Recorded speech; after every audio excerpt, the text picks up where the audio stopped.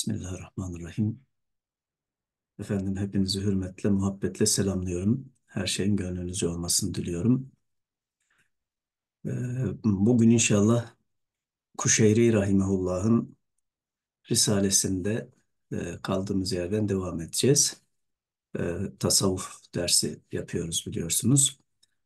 Ee, bu da yapmış olduğumuz ders tasavvuf usulü olduğu için bu usulleri mümkün olduğunca arka arkaya yapıyorum. Er Risale, İbn Salah, e, Kuşeyri, e, tabi İbane, ilmi kelam, yani e, fıkıh usulü, kelam usulü, din, hadis usulü, tasavvuf usulü ve bir de ben inşallah e, önümüzdeki hafta yapacağım. Kendi e, makasıdi teoloji dediğim usul, usulü din dersi yapıyorum. Bu beş dersi arka arkaya işliyorum ki e, usul açısından e, bunların hem birbirleriyle olan ilişkilerini görelim hem de varsa şayet bazı farklılıklar bunları gözlemlememize inşallah e, fayda sağlasın ümidiyle bunları yapıyorum.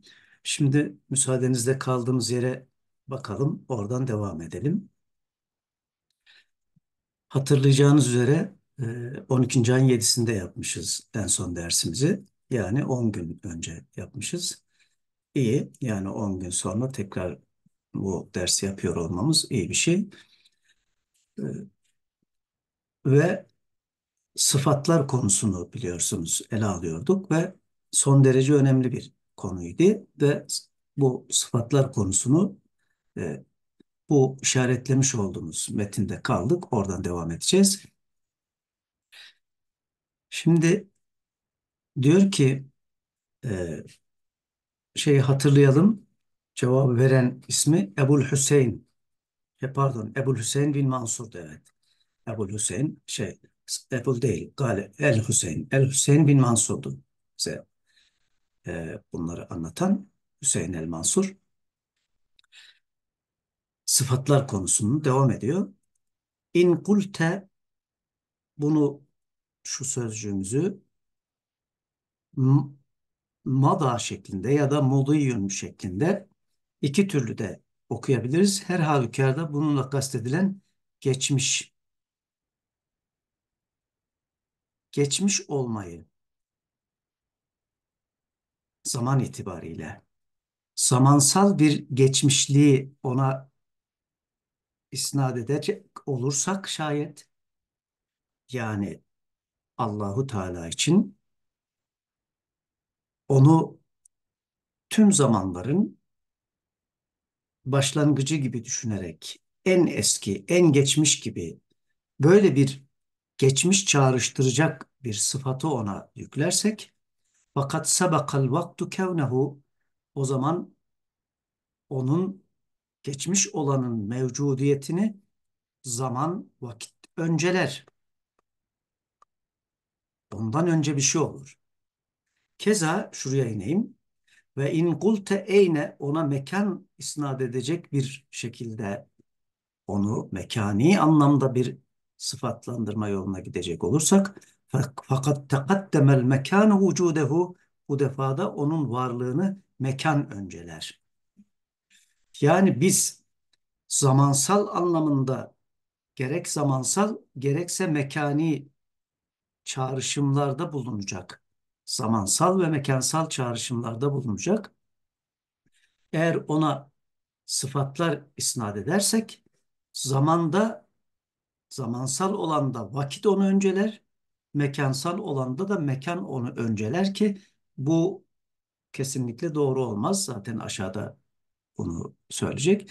Böyledir diyor. Nasıl ona o zaman e, sıfat isnat edelim? Ne diyelim yani? Ve in kulte huve ona gayip zamiriyle bu da dilseldir. Ona dilsel nitelemelerde bulunduğumuzda da sözcüksel olarak nitelemende bulunduğumuzda da buradaki huve de felha uha vel vavu vav halkahu halkuhu onun Allah'ın yarattığı şeyler bunlar. Harfler, lisan, dil, ses. Onu nasıl sıfatlandıralım o zaman?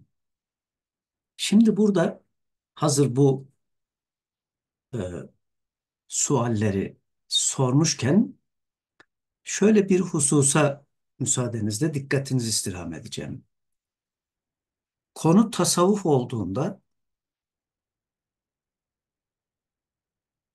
burada dikkatimizi yoğunlaştırmamız gereken nokta farklı bir dünyayı, farklı bir terminolojiyi konuşuyoruz demektir.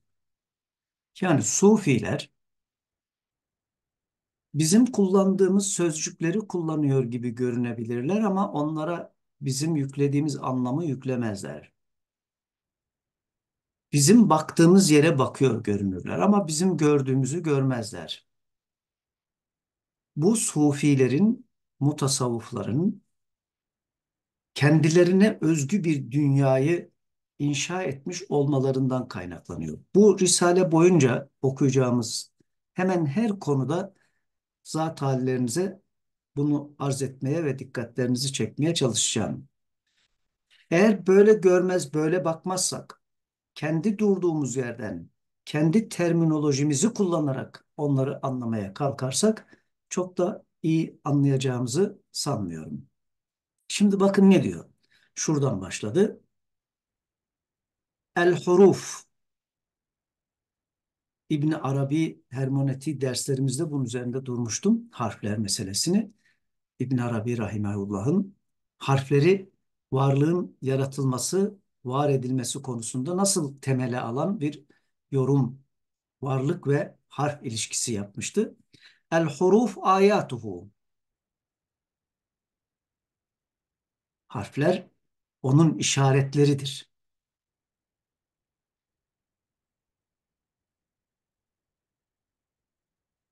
Ve vücuduhu onun varlığı isbatuhu onun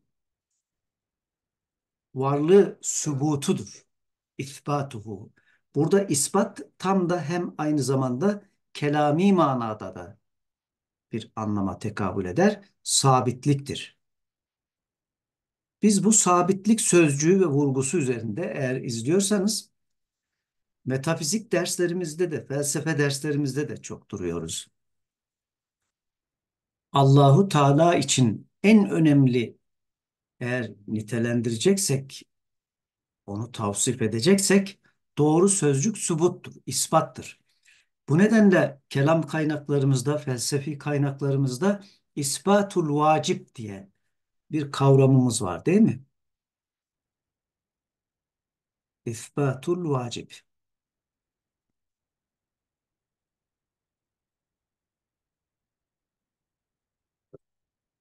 Subut, sabitlik. Onun varlığı sabittir, değişmezdir. Yani ne yoklukla ilişkilendirilebilir, ne değişimle ilgili, ilişkilendirilebilir, hiçbir şeyle ilişkilendirilemez. Bizim harfler dediğimiz onun bizim için koyduğu işaretlerdir. Nitekim benim makasıdı e, teoloji dersimde varlık meselesini işlediğinde makasıdı teolojide varlık orada bütünüyle varlığın bir işaret olduğuna dair son derece önemli açılımlar yapmaya çalışmıştım hatırlayacaksınız izleyenler için. Harfler onun işaretleridir de onun varlığı sabitliktir, subuttur. Subuttur. Bu nedenle e, en son yaptığımız Martin Heidegger dersinde düşünmek üzere, düşünmenin metafiziği üzere yaptığımız derste Parmenides, Parmenides'e yaptığımız atıflar son derece önemli. Bu ünlü filozof Parmenides varlığın varlığını ve sabitliğini vurgulayan en önemli düşünürdür. Onun için Allahu Teala'nın eğer vücudundan, varlığından söz edeceksek bundan subut olarak söz edebiliriz. İthbatuhu yani subutuhu olarak bahsedebiliriz. Ve marifetuhu tevhiduhu. Bakın onun marifeti tevhididir. Yine terminolojiye dikkatinizi çekmek istiyorum. Marifetten söz ediyor. Bilmeden değil. Bu nedenle konuşmalarımızda sürekli mevzuları ele alırken tevhid Allah birdir demek. Bunu hani bir konferansımıza bir sunumumuza cevap olarak e, video koyduk kanalımıza. Orada izlemişsinizdir. Kul huvallahu ahad. Tevhiddir işte. Birdir demek bilgisel anlamda bize bir bilgi vermez. Marifettir bu. Marifeti gerektirir. İmandır, marifettir. İmanla ilgili bir şeydir. Ve tevhiduhu, onun tevhidi, temyizuhu min halkihi. Ne kadar önemli bir hususa dikkatimizi çekiyor. Tevhid nedir? Onu yarattıklarından ayırt etmektir. Yani yarattıklarının hiçbiriyle ilişkilendirmemektir. Hiçbir bakımdan yarattıklarıyla ilişkilendirmemektir tevhid. Ma tasavvuru fil hiyali fehuve bi hilafihi.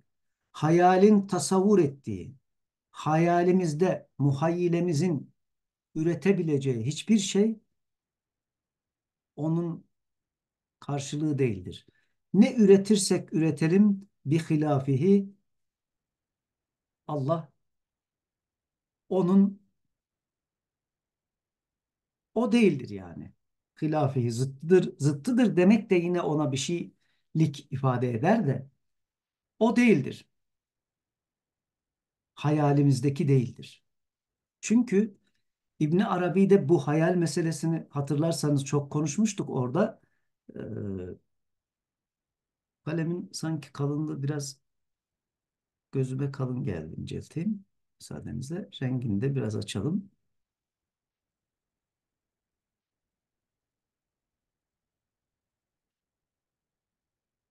Hayal de Allahu Teala'nın bizim zihinlerimizdeki bir yaratmasıdır. Bu nedenle onu yarattıklarından ayırt etmek tevhiddir dediğimizde temyizuhu min halqihi el hayalu dahilun min el halk. Hayal de halka dahildir. Mesela hayali söz ettiği için mesela hayal ederken diyor keyfe nasıl yahillu bihi ma minhu bid'uhu başlangıç. Ev yaudu ileyhi ma huve enşe'ehu başlattığı bir şey. Başlangıç ve Allah'ın başlattığı bir şey. Nasıl Allah'ın başlattığı bir şey, başlangıcı olan bir şey onunla birlikte olabilir ve onun ona döner, onun gibi olur. Bunu nasıl tasavvur edebiliriz? Hayal edebiliriz. Çünkü ne tasavvur edersek edelim, ne, ne hayal edersek edelim, bunların hepsi bir biçimde onun var ettiği, onun inşa ettiği, onun başlattığı bir şeyle ilgilidir. O halde o nasıl bununla ilişkili olabilir? La tukabiluhu ezzunun. Düşünceler onu ne yapamaz? Karşılayamaz. Yani insani düşüncelerimiz, insani düşünceler ki bu ezzununu burada insani bilgiler de diyelim. Çünkü zan, zanni bilgi, insani bilgi zanni bilgidir. Düşünceler ve bilgiler hiçbir zaman zat-ı barinin, Allahu Teala'nın ifadesi olamazlar. La tukalibuhu tukabiluhu ezzunun.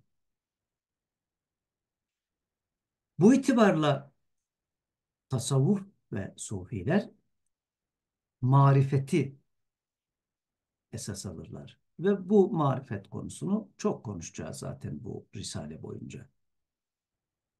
Diyor ki Yüce Mevla'nın kurbuhu bize yakınlığı mesela Allah kullarına yakındır diyoruz. E deyince burada mesela mekani bir şey söylemiş oluyoruz. Allah gecenin şu saatinde bu saatinde şöyle yapar böyle yapar diyoruz. Bir zamansal anlam Cenab-ı Hakk'a isnat etmiş oluyoruz. Diyor ki onun yakınlığından söz ettiğimizde kerametuhu onun bize lütfunu, ikramını söylemiş oluyoruz. Bize bir lütfudur. Lütfundan söz ediyoruz. Kurbu demek lütfu demektir. Ve buduhu uzaklığı demek ihanetuhu yani bizi mahrum bırakması demektir. Bir mahrumiyettir. Onun yakınlığı bir mazhariyet, uzaklığı bir mahrumiyettir. Yoksa bizim kendi dünyamız açısından kullandığımız bu sözcükler bizim dünyamız için taşıdığı anlamları Allahu Teala'nın varlığı söz konusu olduğunda oraya taşıyamazlar. Neden? La tukabiluhu karşılıkları yoktur. Yani şöyle söyleyelim. Allah söz konusu olduğunda Allah söz konusu olduğunda bir ne düşünsel ne de dilsel bir karşılığı vardır. Allah bizim ne düşüncelerimizin bir karşılığıdır ne de lisanımızın bir karşılığıdır. Çünkü hem düşüncelerimiz hem de lisanımız onun yarattığı mahluklardır. Halik mahlukatında karşılık bulmaz. Tekabüliyet sırrı, bu mukabele sırrı diye bunları mantıkta da okuduk mukabele konusunu. Tekabüliyetten söz edemeyiz. Ve onun yüceliğinden söz ederiz. O yücedir deriz. Uluvuhu, yüce deyince sanki zihnimizde bir yükselme, bir yükseklik çağrıştırır. Yani yücelik, yücelik, yükseklik değildir. Onun için diyor ki min gayri tavakkul. Tavakkul tasa'ud, suud, yükselmek anlamına gelir ki bu yüce o çok yücedir deyince mekani manada bir yükseklikten söz etmiyoruz ve Allah'ın gelmesinden ve ca'e rabbuke Rabbin gelir diyor. Vel melek saffen saffa. Melekler saf saf durur ve Allah gelir. Şimdi onun meciinden, gelişinden söz edersek bu nedir? Min gayri tenakkul bizde gelmek ne demektir? Mekanda bir harekettir. Bizde gelmek mekanda hareket etmek demektir. Allah'ın diyor gelmesi bir intikal değildir. Mesela A noktasındayız. Gel deyince B'ye geliriz. Bir mekani intikal vardır burada.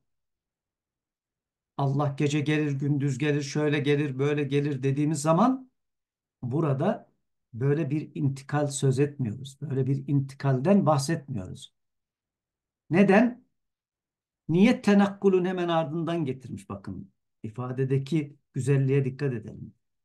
Neden? Çünkü başlangıç o, son o. Huvel evvel vel ahir. Vel ahir. Başlangıç o, son o.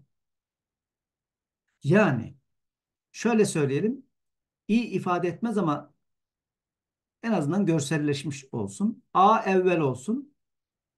B de ahir olsun. B ahir. Bu da evvel. Evvel de ahir de arası da hepsi hepsi odur. Hepsi o. Biz niye intikal ediyoruz? Çünkü bizim öncemiz var, sonramız var. Biz aradayız, şuradayız. Onun için geri gidiyoruz, ileri gidiyoruz, duruyoruz. E Allah başlangıç da o, son da o. Nasıl hareket edebilir? Allah'ta Allah için hareket söz konusu olur mu? Başlangıç o, son o.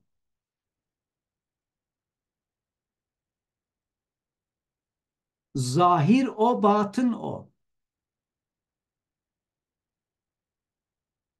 O halde biz onu ne zahire hasredebiliriz ne batına hasredebiliriz.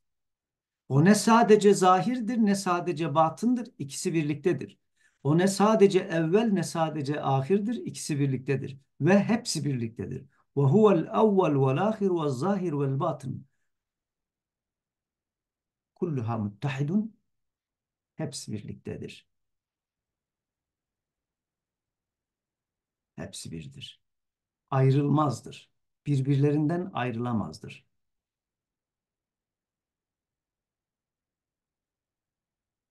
Daha vel karib vel ba'id. Yakın o, uzak o.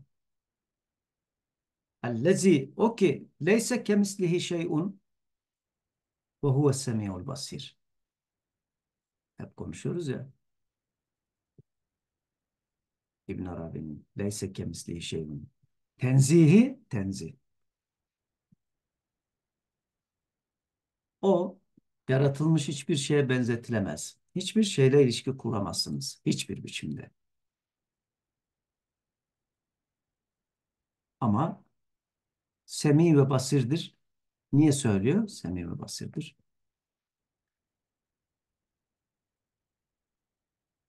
Bizi gördüğünü, bizden haberdar olduğundan, efendim, bizi işittiğinden, bizim anladığımız dilde. Onun için bu ayet-i kerimeyi ele alıp üzerinde dururken hep hatırlayacaksınız. Şuna dikkatinizi çekmek istiyorum. Leyse kemislihi şey'un min cihetillahi. Allah cihetindendir. Kendi zatı cihetiyle hiçbir şey ona benzemez. Ve huve semi'ul basir bizimle ilişkisi cihetindendir. Yani min cihetil munasebetil insaniye. İnsanla ilişkisi cihetinden işiten ve görendir. Niye? Çünkü bize bana dua edin, kulluk yapın, sizi işitiyorum diyor. Güzel amellerde bulunun, sizi görüyorum diyor. E'melû feseyerallâhu amelekum ve rasûluh. Yaptıklarınızı Allah da elçisi de görecek ona göre yapın diyor. Şimdi demek ki ayeti kerime leyse kemislihi şey'un ifadesiyle min cihetillah Allah yönüyle Cenab-ı Hakk'ın zatı itibariyledir. Ve huve semi'ul basir bu da insanla ilişkisi bizim dünyamızla olan ilişkisi cihetiyledir. İşte bu nedenle İbn Arabi merhum bu ayetin tenzihi ve teşbihi birlikte kuşattığını söylüyor. Teşbih dediği bizim dünyamız. Evet. Şimdi son derece önemli bir hususa geldik. Yine sıfatlar meselesine devam ediyoruz. Diyor ki Kuşeyr Rahimullah. Gale Yusuf ibn Hüseyin Kâme racul beyne yedey zinnun el Mısri. Zinnun el Mısri'nin huzurunda bir zat kalktı ve dedi ki Gale Ya İmam ahbirni anit tevhid ma huve. Bu ahbirni sözcüğü de allimni manasındadır. Büyüklere karşı büyüklere karşı öğrenci üstadına, hocasına karşı, mürit şeyhine karşı bu ifadeyi kullandığında ahbirni kelime manası haber vermek demektir ama edebiyat olarak e, Arap dili açısından e, allimni manasınadır. Ya imam bana tevhidin ne olduğunu öğretir misiniz? Tevhid nedir? Tevhidi anlamak istiyorum. Bana tevhid hakkında bilgi verir misiniz demektir. Allimni manasındadır. Fakale. Zaten onun için bakın imam da ne diyor? En taleme cevapta. Sana haber veriyorum. Oh bir demiyor. En ta'leme enne kudretallahi Teala Allahu Teala'nın gücü fil eşya eşyada bila mizaç eşyanın bir mizacı olarak efendim görülemez. Yani eşyanın varlığa çıkması onların doğası gereği değildir. Allah'ın gücü gereğidir. Ve sun'uhu eşyayı Cenab-ı Hakk'ın yaratması lil eşya bila ilaç bila ille. El ilaç manahu huve huna el ille.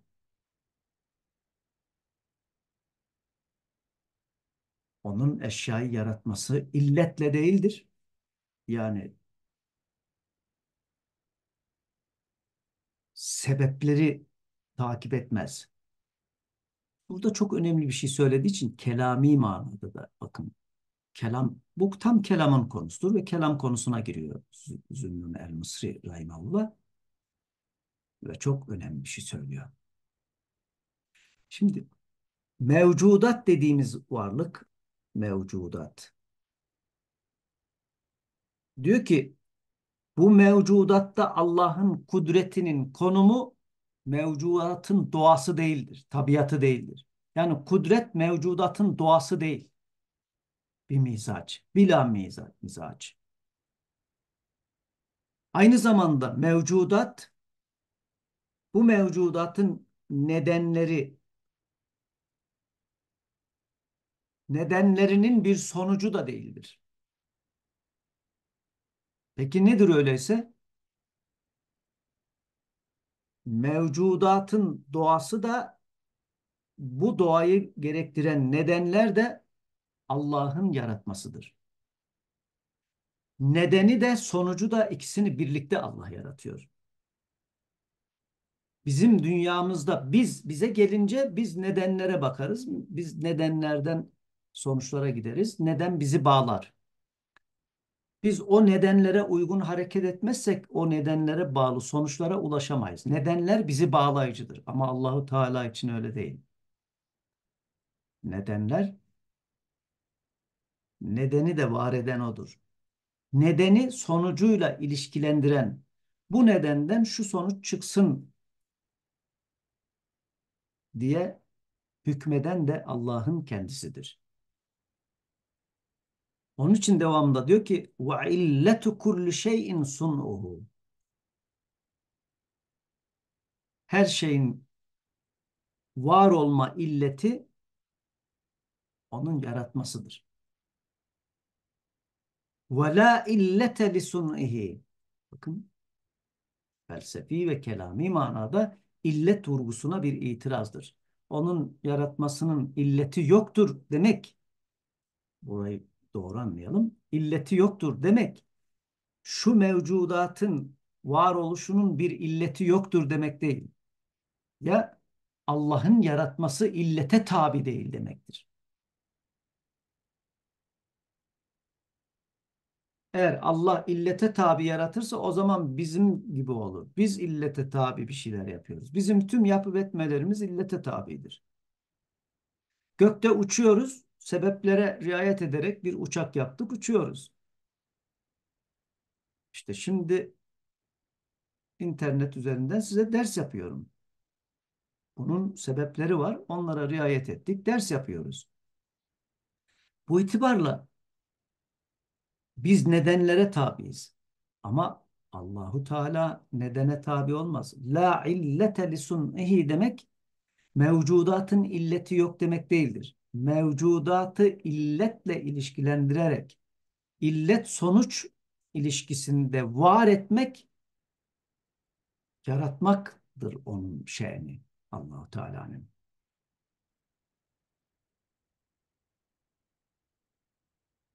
Bu itibarla leyse fis semavatil ula yüce göklerde ve la fil aradine sufla aşağıdaki tüm yer katmanlarında mudebbirun gayrullah Allah'tan başka bir onları var eden, varlıklarını devam ettiren mudebbir yani Rab demektir. El mudebbir ve huve Rabbun. Rabbus semavat vel aradin değil mi ayette? Rab'dır. Kastedilen. Başka bir Rab, bir müdebbir yok.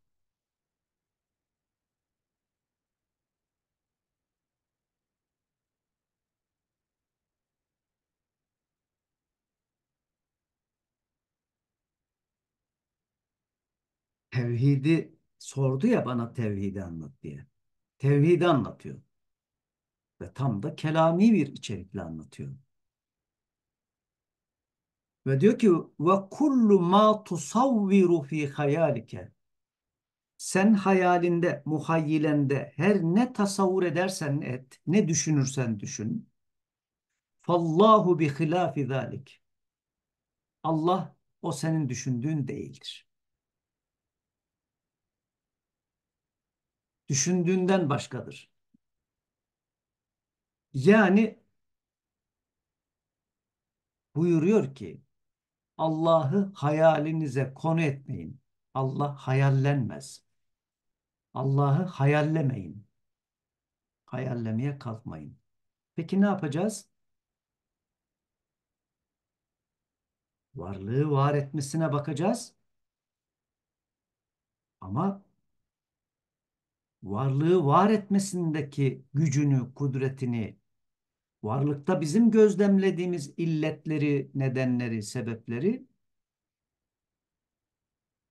bizim için bağlayıcı oldukları açısından değil, onun bu nedenleri, sebepleri ve illetlerin de yaratıcısı olduğu açısından ona bakacağız. Böyle olunca dikkat buyurunuz.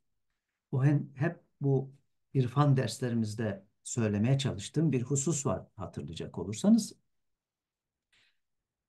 Sufilerle ilgili olduğunda e, söylediğim bir şey bu. Mutasavvıflar kelam ilmine dair bilmeleri gerekeni zahiri ilimler olarak ifade ettiğimiz ilimleri ikmal ettikten sonra marifete yöneliyor. Onun için kelam ilmine vakıf olmayan bir zatın ifadeleri olamaz bunlar. Değil mi? Bizim gerçek tasavvuf geleneğimizde, sufi gelenekte ulûmu zahiriye diye ifade ettikleri zahiri ilimler tasavvuf yolculuğunun azık hazırlaması, tabir caizse uzun bir yolculuğa çıkacağımız zaman bir çanta, bir bavul hazırlaması gibidir. O hazırlıklara sahip olmadan çantamızı ulumu zahiriye ile, tefsirle, hadisle, fıkıhla, kelamla, mantıkla, felsefeyle doldurmadan tasavvuf yolculuğuna çıkılmaz. Şimdi diyor ki yine Cüneyt'ten bir, Cüneyd Bağdadi'den bir alıntı yapacak. Vakalel Cüneyt ilmuke ve ikraruke bi ennallaha ferdun.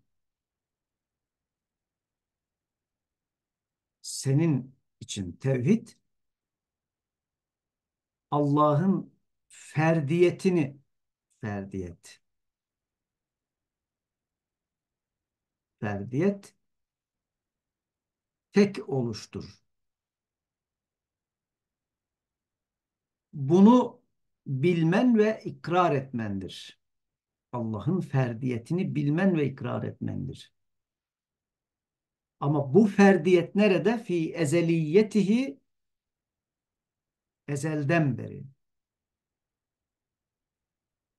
La thaniye ma'ahu ve Allahu Teala'nın bir şerikinin tektir, ikiliye kapalıdır. Şerikinin olmadığını bilmen ve ikrar etmendir.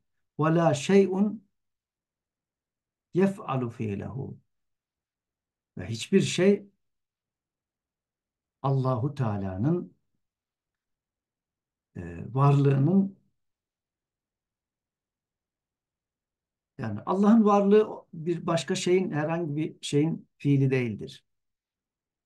Allah fiil değildir. Faildir.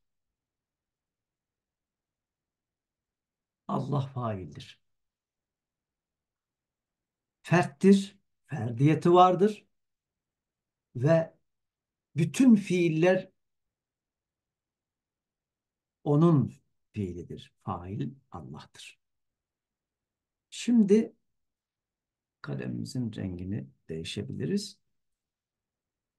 El imanu imana geldik. İmanı okuyalım. Aşağıda el kufru küfür erzak var. Kısaca küfre küfürde kalalım. Küfür bayağı bir uzun. İman konusuna gelelim. Peki buraya kadar tabi bunlar ön daha giriş yapıyoruz Risale'ye. Tam girmedik. ıslahlara gireceğiz birkaç ders sonra. Ee, müellif bize mutasavvıfların zattan, sıfattan, esmadan, fiilden ne anladıklarına ilişkin bir ön mukaddime yapıyor. Yoksa bunların hepsini kavramlar bahsinde son derece detaylı bir biçimde yeniden ele alacağız ve uzun uzun konuşacağız. Ama bu girişi ve girişte her bir kavramı son derece önemli bir biçimde bize sunduğu için Rahimullah e, bu mukaddimeyi de böyle satır satır okumamızın yararlı olacağını düşünüyorum. Umarım sizin için de yararlı oluyordur. Ebu Abdullah bin Hafif buyurmuş ki el imanu iman tasdikul kulub. Bakın.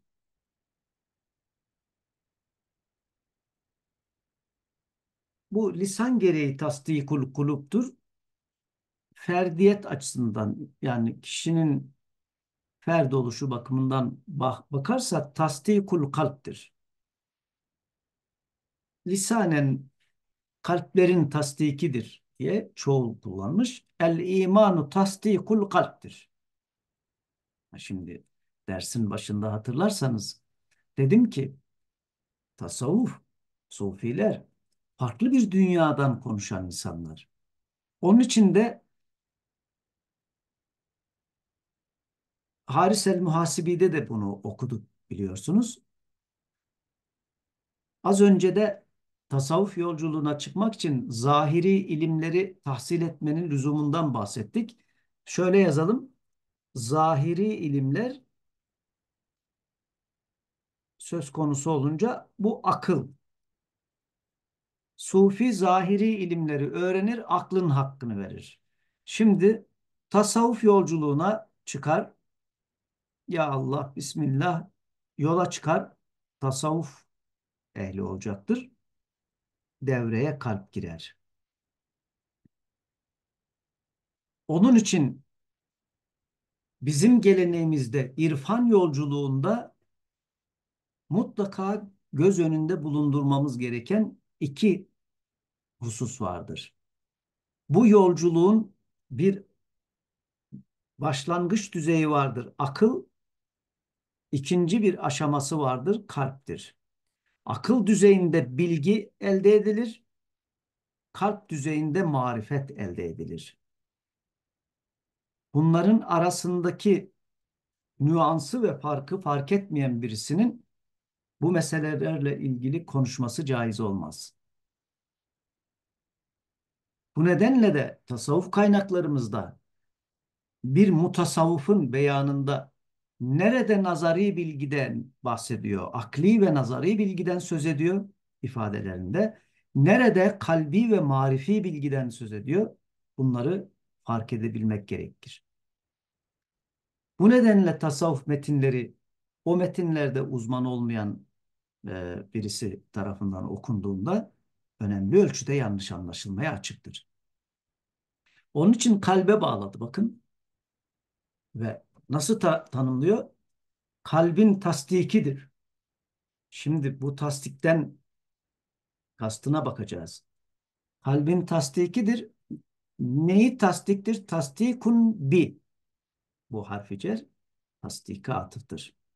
Pardon şuraya. Neyi tasdik? Kalp neyi tasdik ediyor? Vaddahahu imanı. El hak hak olarak vaddaha açık.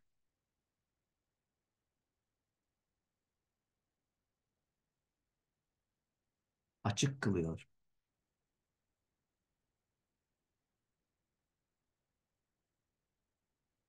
Kalp. İnsan mesela bir şey öğrenince aklı ikna olur. Adet der ki ya bak şimdi oldu bak ikna oldum. Bir problem var çözemiyor. E, işin ehli çözünce bak şimdi ikna oldum deriz. Aklen ikna oluruz. Kalp olunca orada vuzuh bakın vaddaha vuzuh inkişaf, keşf. Bunların hepsini kavramlar olarak göreceğiz ileride. Keşf, inkişaf. Tasavvufta kalbi olunca keşftir. Keşf, kapalı bir pencerenin perdesinin sıyrılması esnasında dışarının ayağın olması anlamındadır. Neden minel guyub? Bakın minel guyub. minel guyub bunların hepsini kavramlar olarak göreceğiz. Manahu el mahcub. El mahcub.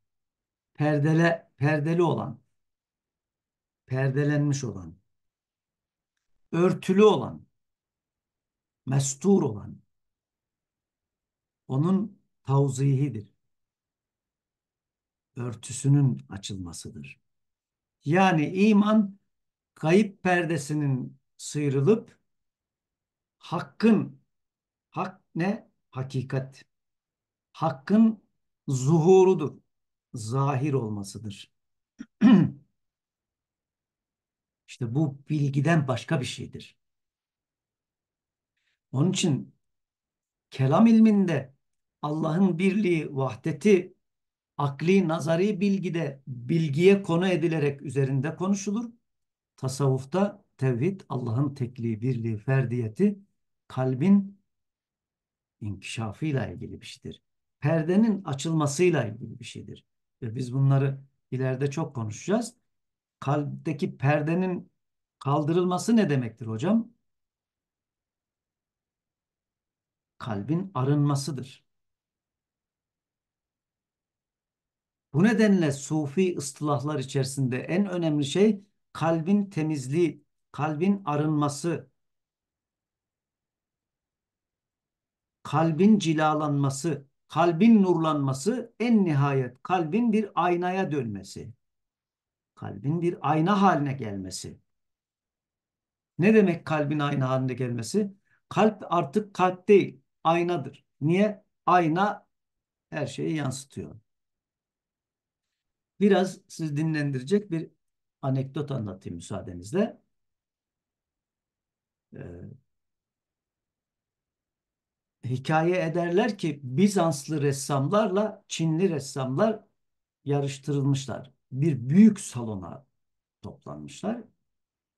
Yarıştırmışlar. Demişler ki perdeyle salonu ikiye böleceğiz. Salonun bir büyük duvarına Bizanslılar siz bir resim yapacaksınız. Çinlilere siz de bu duvara resim yapacaksınız. Sonra perdeyi sıyıracağız. Hangi resim daha güzel karar vereceğiz. Bizanslı ressamlar duvara harika bir resim yapmışlar günlerce, haftalarca. Çinliler de o duvarı paralel duvar ya bunlar karşılıklı paralel duvar. Tamamen mükemmel bir aynaya dönüştürmüşler. Kusursuz bir ayna. Bitti bitti. Perdeyi sıyırmışlar. Buyurun bakalım. Bizanslı ressamların yaptığı resim aynıyla Çinlilerin aynasında yansımış. Aynıyla. İşte tasavvufta kalbin aynaya dönüştürülmesi demek hakikatin hakikat olarak bizde zuhuru demektir. Bu bilgiye değil marifete konudur. Bu bilinmez. Bu yaşanır, marifet edilir. kalpte kalbin ayna olması. Neymiş iman? O zaman hakikatin gayip perdesinden çıkarak kalpte kalbin tasdikini gerçekleştirecek bir zuhurla, vuzuh ile açık hale gelişi imiş e, merhumun tanımına göre. Ve kâle Ebul Abbas Es-Seyyari bu sufimiz de buyurmuş ki Ataullahi ala neveyn Allah'ın iki tür lütfu vardır. Allah'ın atası, ata lütfu ihsan demek biliyorsunuz. İki türlüdür. Kerametun el evvelu kerametun diye okuyorum. Nev'inden bedel olarak kerametin diye okuyabilirsiniz. Biri keramettir. Keramettir yukarıda. Kurbuhu kerametun dedik. Hatırlarsanız yukarıda. İkramıdır, gerçektir. Ata bakın. Vestidracun diğeri istidraçtır. Bu da tasavvufta çok önemli bir kavramdır. Kerametle istidraç adet olanın fevkinde bir duruma işaret eder. Alışık olduğumuzdan harikulade bir şeydir. İkisi de. Ama aralarındaki fark söyleyecek. Keramet kalıcı, istidraç geçicidir. İşte onun için diyor ki Allah'ın atası iki türlüdür. Birisi keramettir, diğeri istidraçtır. Ayette de geçiyor. Min haysu yestedricu. İstidraçtır. Fema abkahu aleyke Allah bunlardan hangisini iki tane ya hangisini senin için sabit kılar, devamlı kılarsa devamlı. Fehuve kerametun o Allah'ın sana bir ikramıdır. Keramet gösteri diyorlar ya keramet. Veli bizim şeyh maşallah akşam sabah keramet gösteriyor diyor ya zavallı müritler. Şeyh şeyh olmaz, mürit mürit olmazsa akşama sabaha keramet gösteriyor olur bu şey tiyatro göstericileri gibi. Efendim gerçek şey gerçek mutasavvufta keramet Allah'ın lütfuna mazhar olmaktır. Eğer mürit de şanslıysa şeyhinin bu mazhariyetine şahit olur. Mazhariyettir. Öyle şeyhin elinden eteğinden keramet dökülmez. Ve akşama kadar da şeyh keramet gösterip durmaz. Bunlar lütfu ilahidir görüyorsunuz. Ve bu o kişide bir karaktere dönüşecek şekilde dikkat ediniz. Sürekli hale gelirse böyle bir kere uçtu değil, bir kere kaçtı değil. Bunların devamlılığı yok. Keramet keramete mazhar olan kulda bir devamlılıktır. Bir karaktere dönüşür. Ve ma ezalehu anke senden ayrılan sürekliliği olmayan şeyse fehuve istidraç bu bir istidraçtır. İstidraç genellikle tasavvuf geleneğinde sınavdır. Bakalım ne yapacağız diye şımaracak mıyız? Olağanüstü hallere mazhar oluruz. Çok güzel rüyalar görürüz. Manevi manada uçuyor gibi oluruz. Vay be ben ne oldum mu diyoruz acaba? Yoksa bu mazhar olduğumuz istidracın dikkat buyurunuz. Bu mazhar olduğumuz istidraç istidraç olarak geçicidir. Sınavdır. İşte bu mazhar olduğumuz sınavdan geçmenin alameti istidracı keramete çevirmektir. Ve dikkat buyurunuz. Fevkalade bir duruma mazhar oluruz istidraçtır. Tıpkı keramet gibi. Ama ne zaman ki bu istidracı kalıcı kılarız, hem sınavı geçmiş oluruz, hem de istidraç artık keramete dönüşür. O halde şöyle tanımlayabilir miyiz? Her keramet başlangıçta bir istidraçtır. Kul bu istidracı keramete dönüştürme çabasında, sınavında başarılı olursa Allah ona artık onu bir karaktere, bir keramete, daimi bir şeye dönüştürür. Onun için de kamil bir şeyhin günü günden farklı olmaz. Yani davranışsal karakter anlamında. Her gün örnektir. Onun için Allah Resulüne Abdullah İbni Amr bin As geliyor. Diyor ki ya Resulallah ben sizin her sözünüzü yazıyordum. Bana kızdı sizin yakın arkadaşlarınız. Yazma dediler. O da insandır. Sakin hali var. Kızgın hali var. Ne hepsini yazıyorsun dediler. Ben de şimdi yazmıyorum. Ne buyurursun deyince oktup yaz sen dedi. Oktup. فَوَالَّذ۪ي nefsi biyedi. Canımı elinde bulundurana yemin ederim ki la yahrucu minha huna buradan illa hak. Sadece hak çıkar. Ben öyle öfkelendiğim zaman farklı, sakinken farklı kıla, e, konuşan biri değilim. Onun için mürşitler, sufiler, kamil insanların öfkeleri onları haktan ayırdı deme, ayıramaz. Haktan sapamazlar. Haktan sapan, hak, haktan sapabilen bir insanın kemaletinden, kamilliğinden söz edemeyiz.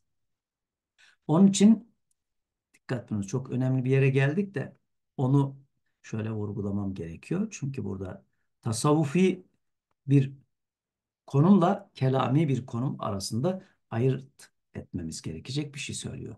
Onun için fekul de ki fekul de ki ene mümin inşallah. Şimdi bu saydıklarımızı okurken içinizden demişsinizdir ki yani Hazret imanla ilgili niye böyle bir konuya girdi ki? Konu iman. Niye Allah'ın iki tane atası vardır? İkrame iki türlüdür buyurdu.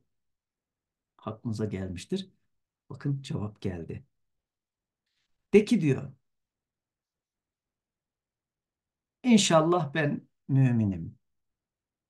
Şimdi kelamcılara göre bunu söylemek caiz değildir. Bu çünkü inşallah eğer Allah dilerse şart cümlesidir. İman şart cümlesiyle ilişkilendirilemez. Yani imanda kuşku olmaz. Ene müminun diyeceksin. Ene mümin inşallah denmez diyor kelamcılar. Haklı mı? Evet. Bilgi açısından haklı. Mutasavvuf da bunun farkında. Ama şimdi ileride derslerimizde çok okuyacağız, üzerinde duracağız. Sufi anı yaşayan,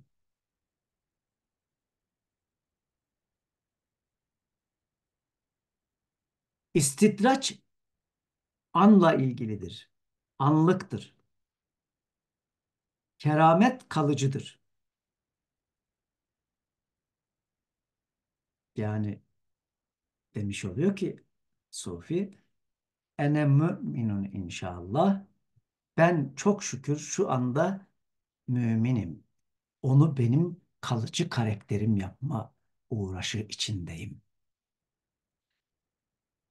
Kelamcılarımızın sandığı gibi burada bir şek, bir tereddüt yok. Sufi bir terminoloji, sufi bir derinlik var. Bakın, onun için az önce zahiri manalarıyla bu sözcükleri, bu kelimeleri onların terminolojisi üzerinden bakmadığınızda kolayca yanlış anlarsınız. Adam imanından daha şüpheli, kendini mümin bile göremiyor gibi anlarsınız. Bunu nasıl söyleyebiliriz bir sufi için?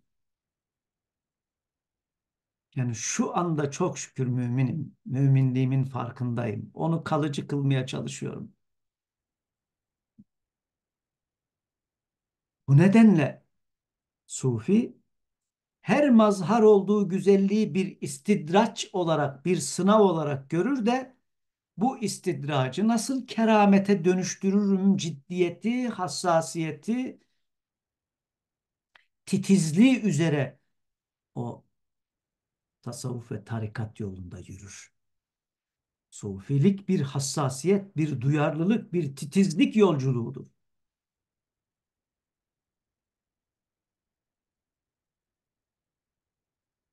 Bu bir istidraç ama bunu keramet kılmaya çalışıyorum. Keramete dönüşsün istiyorum. Ve efendim bunları inşallah yeri geldiğinde ayrı müstakil kavramlar olarak uzun uzun çok konuşacağız inşallah.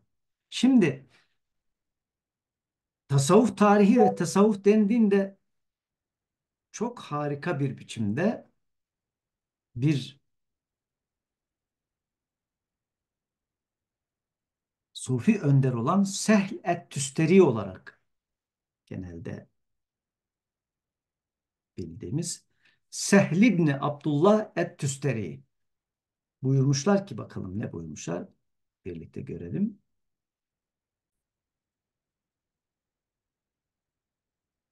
Diyor ki Sehli Tüsteri rahimahullah yenzurul mu'minune ileyhi taala bil absar konu nereye geldi diyeceksiniz. El ibanede de kulların Allah'a nazarından gözle onu görmekten falan bahsediyoruz ya. Şimdi diyor ki min gayri ihatatin ve la idrakin nihayetin.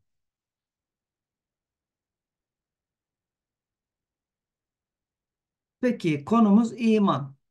İmanın tanımıyla Sehl ibn Tüsteri Rahimahullah ne e, bize söyledi bu cümleyle şimdi?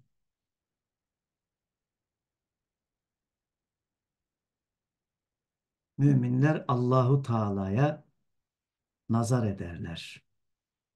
Bilebsar. Min gayri ihatatin yani Allah gözle ihata edilebilir mi?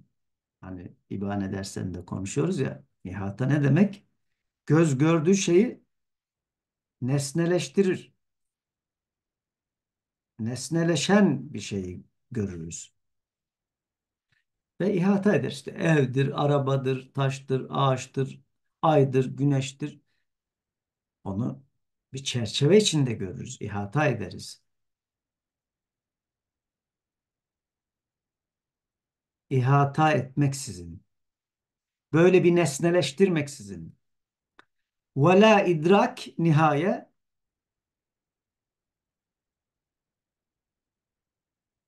sonsuz bir idrak, idrak.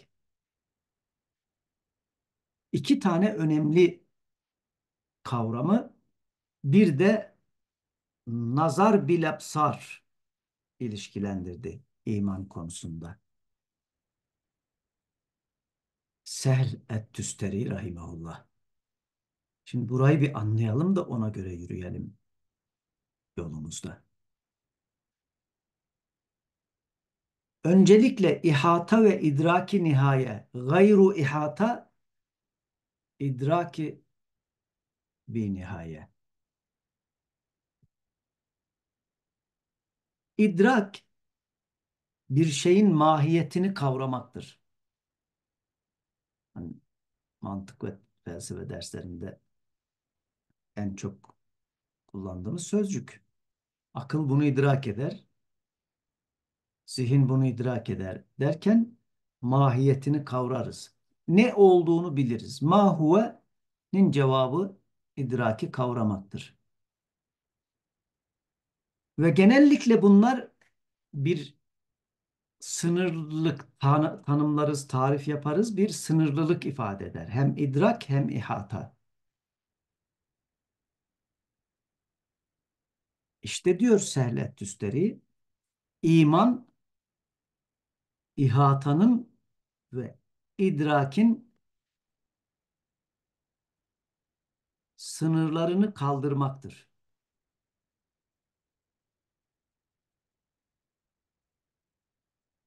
Yöneldiğimiz,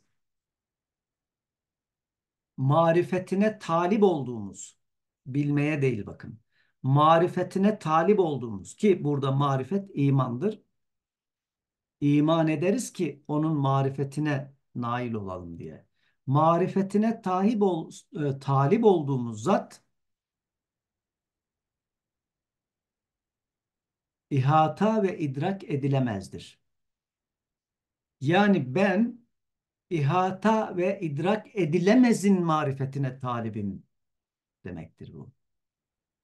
İhata ve idrak edilemez olanın marifetine talibim. Peki bunun için ne yapıyorum? El muminun yani bil iman. Bil iman. Müminler imanla bakarlar. Bakın imanla bakıyor. Bil ebsar burada buna göz anlamı da verebiliriz. Basiret anlamı da verebiliriz ama göz anlamı verelim. Gözleriyle bakarlar diyelim. Allahu Teala'ya.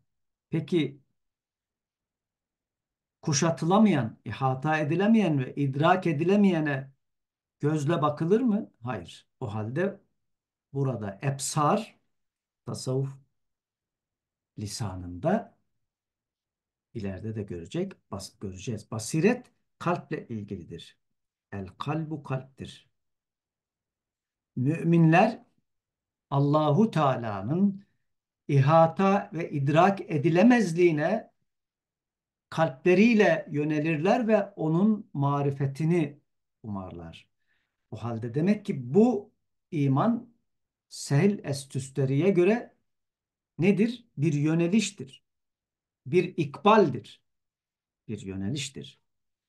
Ve fiil cümlesiyle yenzuru bil ebsar ile de sürekli bir gözlemlemek, müteyakkız olmaktır. Bunları tasavvuf ıstılahlarında çok konuşacağız. Onun için dedim ya az önce kelimeler, ıstılahlar, terminolojinin önemi. Yenzuru bil ebsar mutasavvufların lisanında müteyakkız olmayı gerektirir. Mümin teyakkuz halinde sürekli Allah'ın marifetinin peşinde olan, kesintisiz bir biçimde peşinde olan kimsedir. Onun için ileride okuyacağız inşallah. Ee,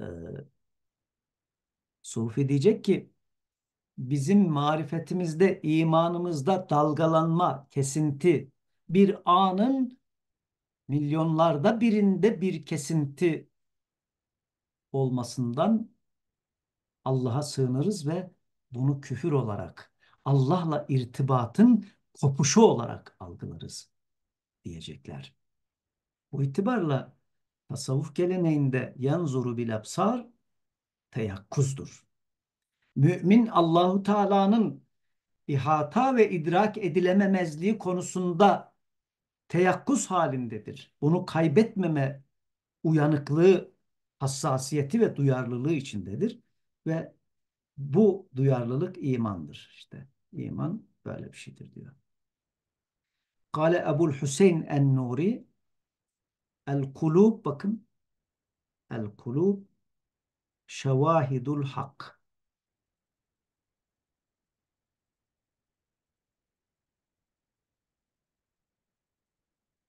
kalpler hakikatin, hakkın, Hak Teala'nın şahitleridir. Yani aynalarıdır demektir. Şahit olmak. Az önce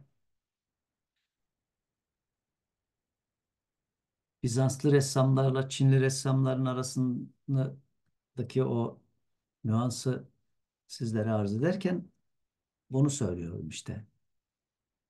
Bizanslıların duvara çizdiği resim Çinlilerin aynasında ne oldu? Şuhut, göründü. Kalpler hakkın göründüğü yerlerdir. Eğer hak bir yerde görülecekse bunu kalpte arayacağız. Kalpte görülür. Hak bir yere yansıyacaksa bunun yansıyacağı yer kalptir. Kalbe yansır. Onun için marifeti kalpte arıyoruz, akılda değil. El kulubu şevahidul hak. Felem nera kalben eşvak. Bakın ileyhi min kalbi Muhammed sallallahu aleyhi ve sellem. Ve hiçbir kalp Hazreti Muhammed'in kalbinden hakkın yansıyabilmesine en uygun parlaklığa, eşvak, saydamlığa, ayna olmanın parlaklığına daha sahip olamaz. Gördüğümüz, görebileceğimiz en parlak ayna Muhammed Aleyhisselatü Vesselam'ın kalbidir.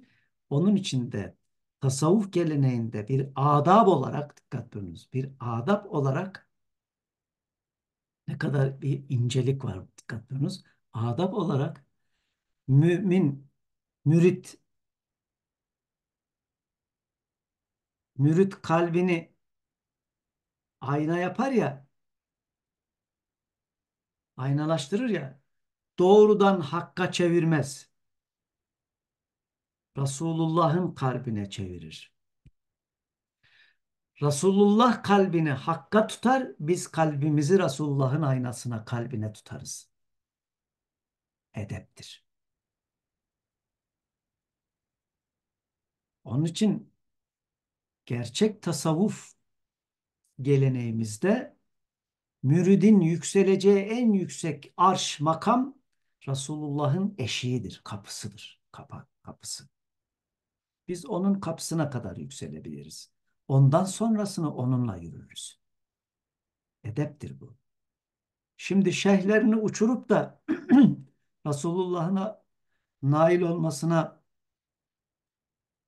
bile layık görmedikleri dünya kadar her şeyi şeyhine yamayan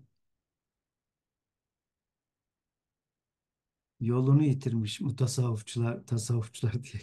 Öyle de demeyeyim ben. Yani tasavvuf sözcüğünü kullanmak istemiyorum böyle bir e, hoyratlık için de bağışlayın. Bizim sufilerimizin dünyası bu. Onun için kalbimizi Resulullah'ın kalbine yöneltiriz. O da Hakk'a. Ve bize ne geliyorsa o gönülden Hazreti Muhammed Aleyhisselatü Vesselam'ın kalbinden bize yansır. Eğer yansıyacaksa bir şey. Yani Hazretler bu işi biliyor yani. Öyle hiç kimse kusura bakmasın bu büyüklerimize, bu sufilerimize laf söyleyemez. Haddi de değil, hakkı da değil. Ömürlerini bu işe vermişler. Gece gündüz el alem uyurken onlar uyumamış. El alem yiyip içerken onlar yiyip içmemiş. Sevkü sefa peşinde koşarken onlar bunların hepsini terk etmişler. Ve bunu niye yaptıklarını da gayet iyi biliyorlar. Bu nedenle fe fail sebebi. Bu nedenle Allah ona ikram etti. Fe ekramahullahu teala. Kullanılan sözcüklere dikkat edelim. Ekramahu. ikram etti. İstidraç değil. Hazreti Muhammed'in konumu istidraç değil. ikramdır. Yukarıda kerametun. Bakın. Kerametun. Sabittir. Kalıcıdır. Hazreti Peygamber bu hususları kendisinde kalıcı kılmayı başarmış olan bir mümindir. Allah ona bil mi'racı tacilen bil miracı tacilen Taci ne demek? Peşin, acele, hemen. Lir ru'yeti ru'yete mazhar olsun Cemalullah'ı görmek konusunda. Allah'ın cemalini görmede müminler ahirette görecek ya te'hiren. Lil mu'minine te'hiren ve li Muhammedin sallallahu aleyhi ve selleme ta'cilen. Müminler muhakkaren ahirette Allah Resulü erkence dünyada Miraç'ta onun cemaline onu görmeye nail olmuştur. vel mukaleme onunla karşılıklı konuşmaya, muhatap olmaya tüm müminlerin cennette bu iki özellik. Cennetin, müminlerin cennetin özelliğidir. Ruhiyet ve mukaleme. Resulullah işte bu makamı Mahmud'u gereği efendim dünyada buna mazhar olmuştur diyor.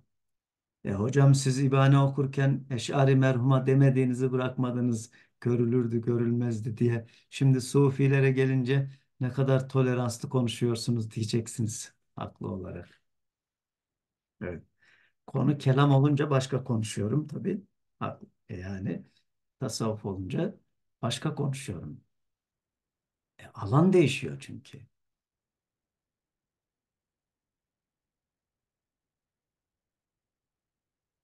Burayı biraz açmam lazım. Hemen böyle espriyle geçiştiremem.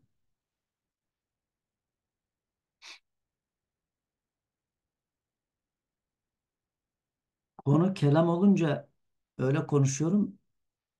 Çünkü Hazret Eşari Rahimahullah ve onun takipçileri Allah'ın ahirette görüleceğini ispat etmeye çalışıyor.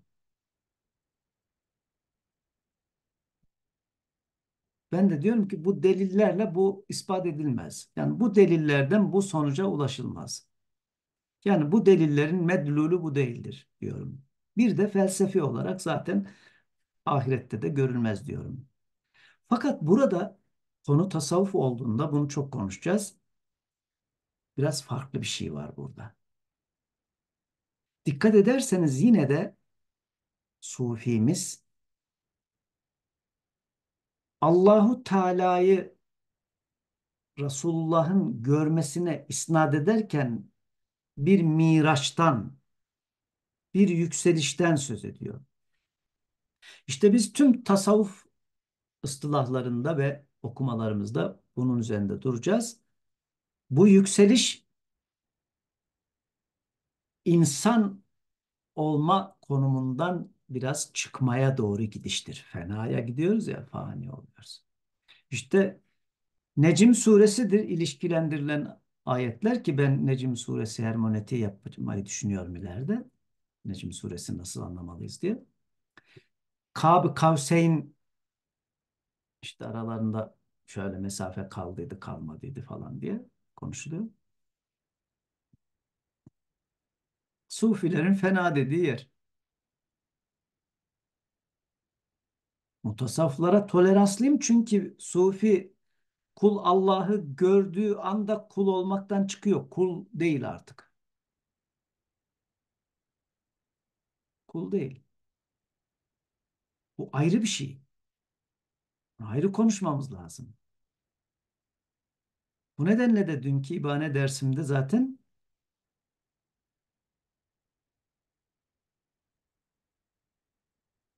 kul kul Allah Allah kaldığı sürece Tanrı istese bile insana kendini gösteremez diye ifade ettim.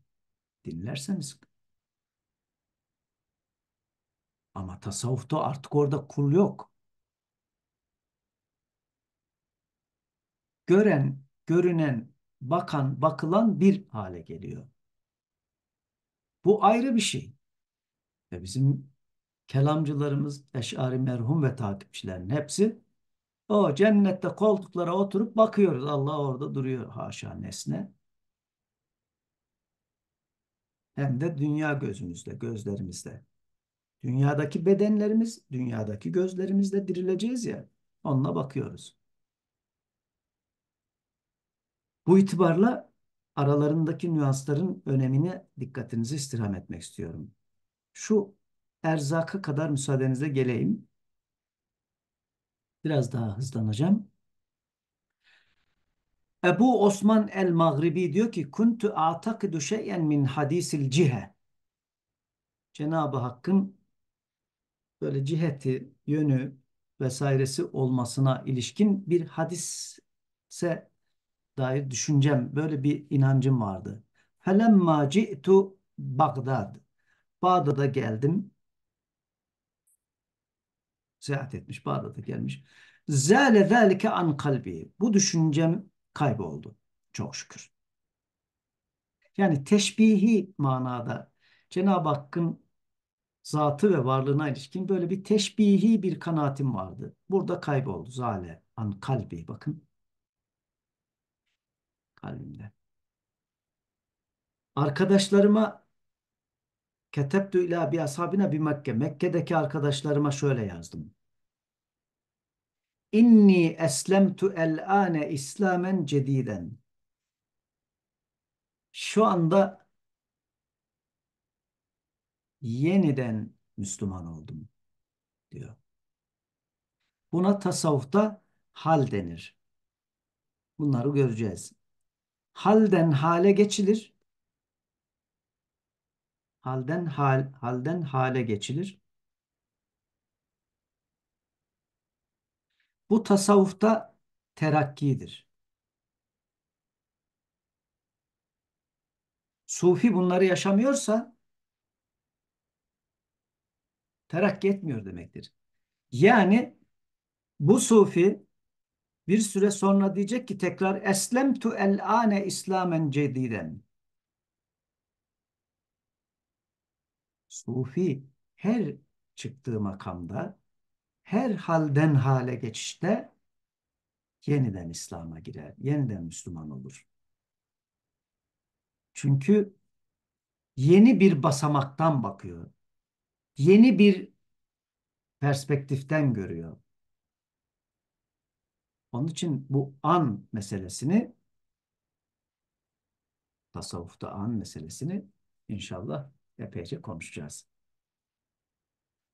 Yine aynı şekilde su ile Ebu Osman el-Maghribi anil halk mahlukatın ne olduğu sorulmuş. Mahlukata dair mahlukat hakkında bir soru sormuş kendisine. Buyurmuş ki mahlukat el halku kavalibu ve eşbahun tecri aleyhim ahkamul kudretil ilahiye. Kudret el ilahiye. Mahlukat dediğiniz suretlerdir. Kalıp burada suretlerdir. Eşbah da bedenlerdir. Cesetlerdir. Allah'ın kudretinin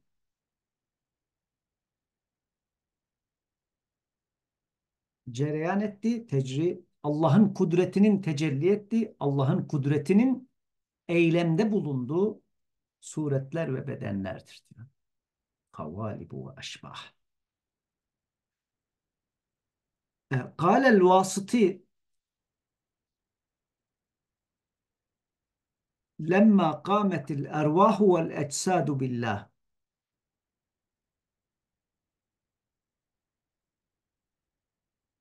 وظهرتا به لا بذواتها كذلك قامت الخطرات والحركات بالله لا بذواتها إذ أن الحركات وال galiba zammeyleydi. Huturat ev hatırat. Ee, emin olamadım. Furu'un lil eczadi vel ervah. Kelami ve felsefi bir hususu tasavvufi bir perspektiften e, söylüyor. Müsaadenizle perdeyi çekeyim. Güneş doğdu. Yukarıdaki okumuş olduğumuz mahlukatla da ilişkilendirdiği için müellif Vasıti'nin bu mahlukatın durumlarına ilişkin ruhlar ve cesetler vücut bulduklarında kâmet Allahu Teala'nın tabi billahi var etmesiyle bunlar Allahu Teala'nın lütfuyla zahir olurlar, var olurlar. Zatlarıyla değil. Çünkü bunlar da e, bu varoluşta gerek onların tasavvuri olarak gerekse e, hareketleri itibariyle bunlarda varlık, ruhta ve cesette varlık zati değildir.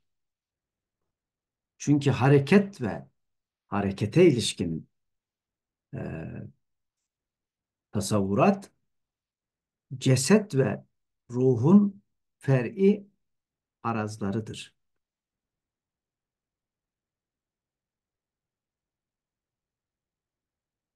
Peki tam olarak vasıtı bize ne söylemiş oldu? Şunu. Hem ruhlar hem cesetler Allahu Teala'nın var etmesiyle zuhur ederler, zaharete var olurlar.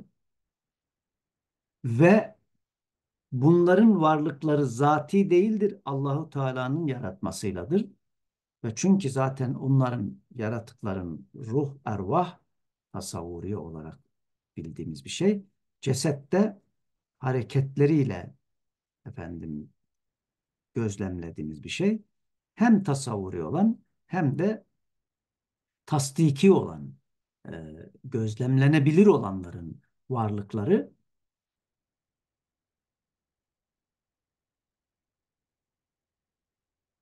Allahu Teala'nın yaratmasıyladır. Allah iledir. Başka türlü var olamaz. Yani varlık varlıkın varlığı Allah iledir. Cevher arazda evet biliyorsunuz cisim ruh bunlar cevherleri hareket efendim e, gibi tasavvuri olan şeylerde e, arazları ifade ederdi. Bunları mantık ve felsefe derslerimizde de gördük. E, böylece iman bahsinde dikkat buyurduysanız Kuşeyri bize Sufilerin düşünce ve görüşlerinden hareket ederek imanın marifetle ilgili bir şey olduğunu, tevhidle ilgili olduğunu, tüm yaratılmışların mahlukiyetinin Allah'ın yaratması, Allah'ın var etmesi olarak görülmesi gerektiğini ve bu yaratmanın, bu var etmenin de Cenab-ı Hak için bir illete, bir sebebe, bir vesaireye bağlı olmadığının altını çizerek bize kısaca imanın ne olduğundan bahsetti. Ben burayı da okuruz diye düşünüyordum ama ben de yoruldum. Gerek yok. Zaten birkaç satır küfre e, geçeceğiz. Onu da inşallah önümüzdeki hafta birlikte okuyalım. Buradan e, burada kalalım inşallah. E, tarihimizde atalım. Bugün ayın 17'si. 17 12 2023. İnşallah 2024'e girmeden bir ders daha yapabiliriz diye umut ediyorum. Efendim bir sonraki derste görüşünceye kadar Allah'a emanet olunuz. Sağlıkla, afiyetle kalınız inşallah.